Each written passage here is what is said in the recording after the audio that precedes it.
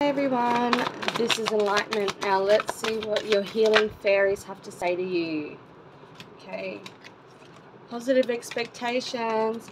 Expect positive changes, guys. You've been praying for it, you've been asking for it, and it's coming towards you.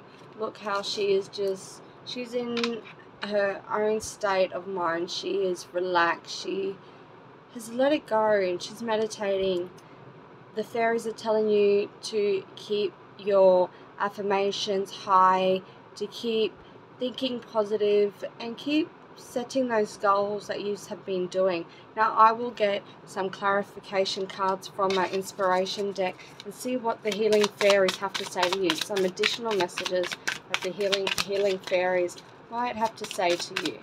For our beautiful collective spirit, please give our collective some messages. Now we've got some that turn for it.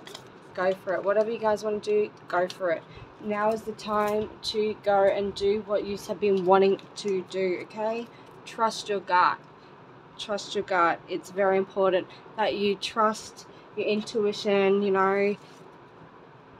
Keep those affirmations up, guys. Don't let bad days feel like it's the end of the world, alright? Make it happen because you're capable.